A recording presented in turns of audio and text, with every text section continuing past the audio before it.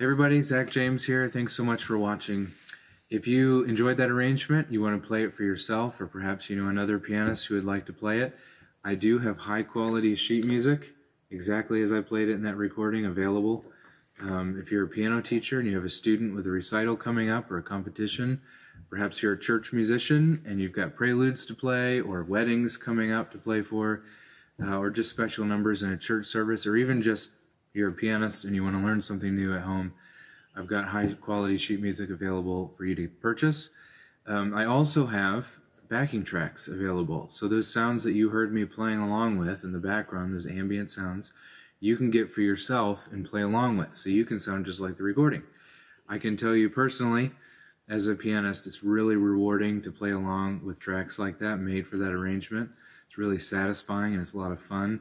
Um, if you do like that arrangement, you might like some of the others that I've made. You can find those wherever you listen to music, or on this YouTube channel, or just going to my website, zachjamesmusic.com. Of course, in the description, you'll find links to all of this stuff. Thanks again for watching. Don't forget to hit that subscribe button and ring the little bell so you can be sure uh, to be notified of more of these videos when I post them. Thanks again.